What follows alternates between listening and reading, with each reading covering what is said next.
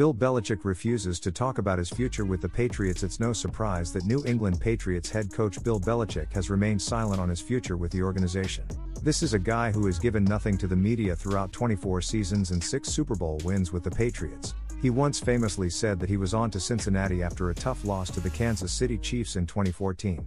It's nothing about the past, nothing about the future. Right now we're preparing for Cincinnati, Belichick had said. In the wake of a Monday report from NBC Sports Boston that Belichick and New England would part ways after this season, the legendary head coach brought back the same line of thinking.